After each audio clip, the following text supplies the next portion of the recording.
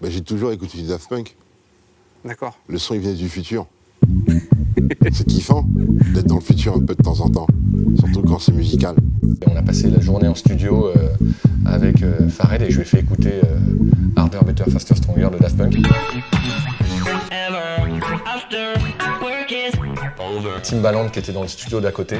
Donc il dit à Timbaland de venir et on se retrouve, euh, Pharrell, Timbaland, DJ Mehdi et moi, à écouter Harder, Better, Faster, Stronger de Daft Punk. De te le raconter, j'ai un peu la chair de poule, je t'avoue. J'ai rencontré les Daft Punk à Los Angeles. On déjeunait, à un moment, Guiman m'a dit euh, Hey, on aimerait que tu collabores avec nous. On ne sait pas encore sur quoi, mais on aimerait travailler avec toi. Eh bien, je peux vous dire que le plus dingue de tous, c'était moi. Comment ils se le prenaient dans la, dans, dans- dans Bah, la ils, ont, tête bah, ils se le sont bien pris, je dois t'avouer. Ils se le sont bien pris dans la tronche. Euh, ils avaient la banane. Euh, Timbaland euh, hallucinait.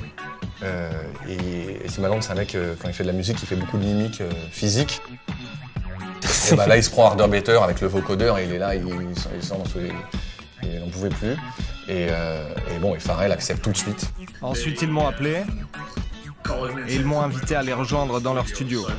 Alors j'y suis allé et ils m'ont dit La seule chose que tu as à faire, c'est parler de ta vie. Non, je crois même, pour te dire, je crois que Pharrell a même euh, la blague il a, a vérifié, mais je crois qu'elle est véridique, a même dit à Thomas Guiman, si vous voulez, moi je viens juste sur votre album jouer du triangle.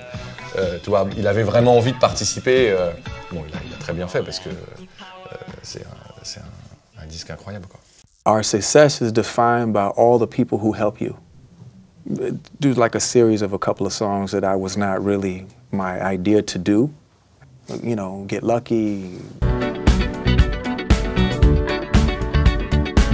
And so when that became like a, the phenomenon that, that it became, that's when I was humbled because I was like, oh man, this is not like any of my other success. Je crois que c'était un clip coup de cœur M6. C'était celui de Daft Punk Around the World avec euh, et en fait je me rappelle c'était tard le soir et je comprenais pas en fait je comprenais pas ce que c'était cette musique je comprenais pas ce que c'était ce clip avec les gens qui en fait je comprenais pas ce que je regardais et euh, je trouve ça toujours fascinant quand on comprend pas du tout ce qu'on regarde. Un clip comme ça, ça me fait penser à un moment où c'est arrivé. Cette simplicité mise en, en, exergue, mais qui a l'air facile à faire, aisée, comme la musique, comme ce petit air. Et c'est ça qui est fou, c'est que on aller dans tous les sens, ce sera toujours la simplicité qui va cartonner.